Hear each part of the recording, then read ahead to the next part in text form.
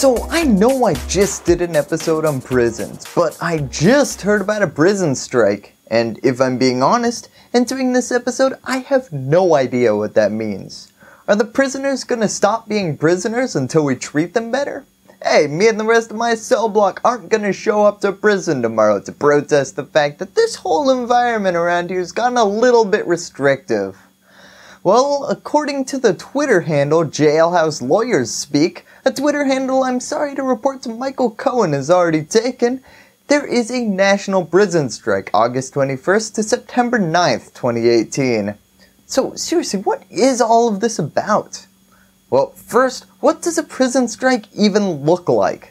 Over the next 20 days, inmates in prisons, jails, and immigration detention centres will hold peaceful sit ins, hunger strikes, and labour stoppages to push for reform of a system that they say abuses and exploits them. Well, that pretty much sums it up.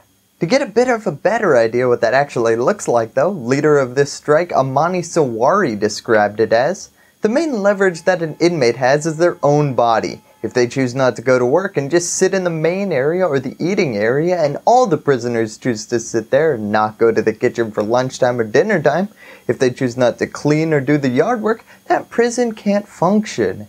You can choose not to move, clean, or eat. I think my roommate's been on strike for a few days now.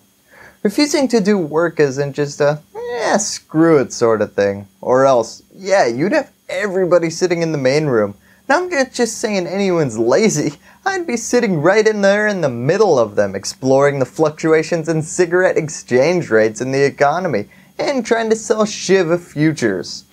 Essentially, if you refuse to work, guards will take away everything they constitutionally can.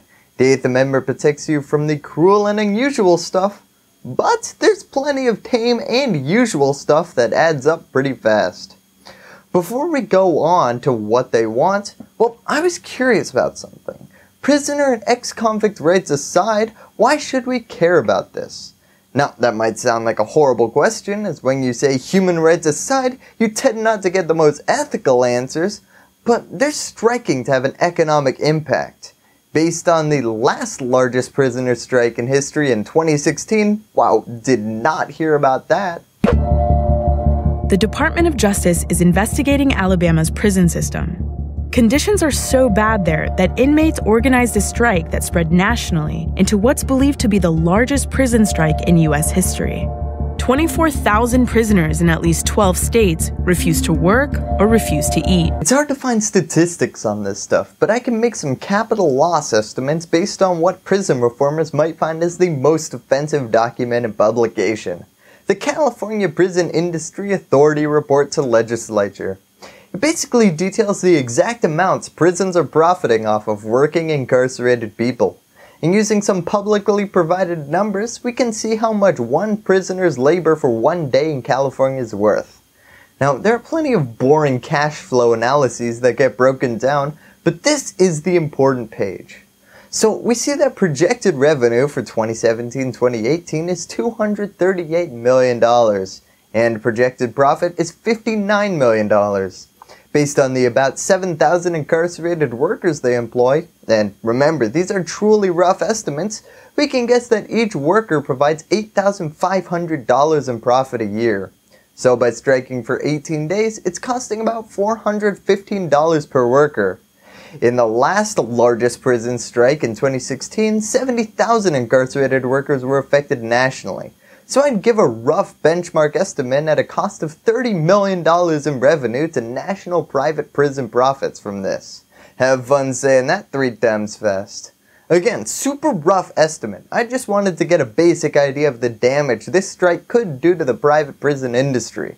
So now to the demands. Well, the main one is state can pay inmates as little as 15 cents an hour to work inside the prison. On the bright side, we found a way to get our jobs back from China. So a lot of people are calling this prison slavery, which might not be too inaccurate. Most people are probably scratching their heads thinking, didn't we fight a pretty high profile war about that? Well, around that time we passed the 13th Amendment, the one that says you have to pay people, and all of the world's problems were fixed. Except that amendment had a but. And despite the fact that this was a big but, I'm gonna guess Sir Mix-a-Lot Not a fan. It says neither slavery nor involuntary servitude, except as a punishment for crime whereof the party shall have been duly convicted, shall exist within the United States.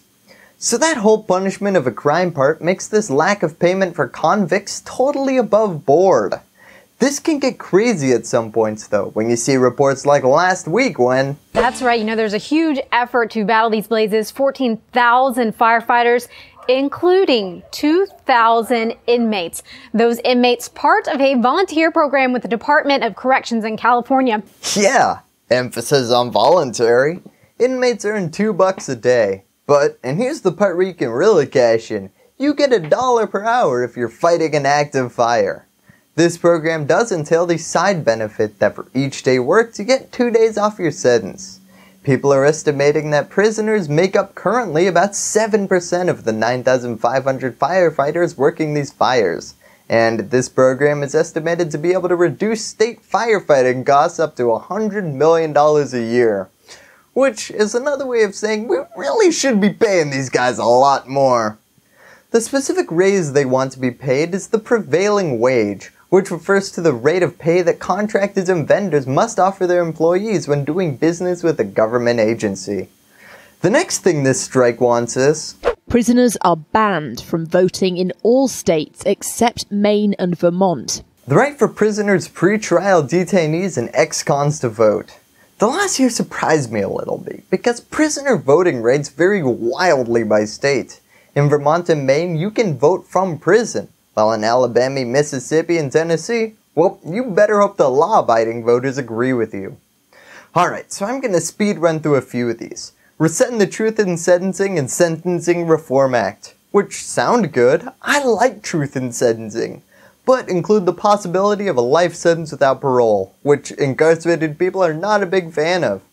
It calls for rescinding the Prison Litigation Reform Act, which makes it harder for prisoners to sue prisons in federal court, Pretty clear why they wouldn't want that one. And an end to racial oversentencing, denial of parole, and gang enhancement laws. Reinstating government Pell Grants to inmates for college, something that ended under the Clinton administration, and the one they don't read on TV, giving violent prisoners access to rehabilitation programs. To be fair, that last one was buried at number 7 on the list. Although, I guess better to have rehabilitated violent offenders than releasing unprepared violent people back into public. So, the final question, do prison strikes work? Well, generally not really because... The largest prison strike in U.S. history is currently happening, and it's been happening for weeks, even though you might not have heard about it in the mainstream media. That's an understatement. You have no idea how hard it was for me to find those clips that I cut together for this episode. The only station that seemed to be covering this was RT, or Russia Today, a news source I'd trust about as much as some guy whose friend told him something. Looking at a list of recent prison strikes, of which I've only heard of the one that took place at Guantanamo Bay, I can tell you that none of them have led to a change without a lawsuit involved. Except maybe for Guantanamo Bay, but that was more Obama reducing the number of prisoners being held there after the half the nation that voted for him got angry at him for not outright shutting it down. Basically, this is shaping up to be the biggest prison strike in US history. But until the media starts covering it more, it might just be the largest strike we've never heard of. Although, if this comes up in a Trivial Pursuit match, you're welcome for giving you that point. Thank you and that's all I have to say about that. Hello YouTube, I hope you enjoyed this video. If you want to support independent, nonpartisan comedy news, remember to subscribe by clicking on this floating logo to the right of my head. Or do it the old fashioned way by clicking the subscribe button below. And ring that bell so that freedom will continue to ring. Remember to give me a thumbs up, and as always, thank you for watching.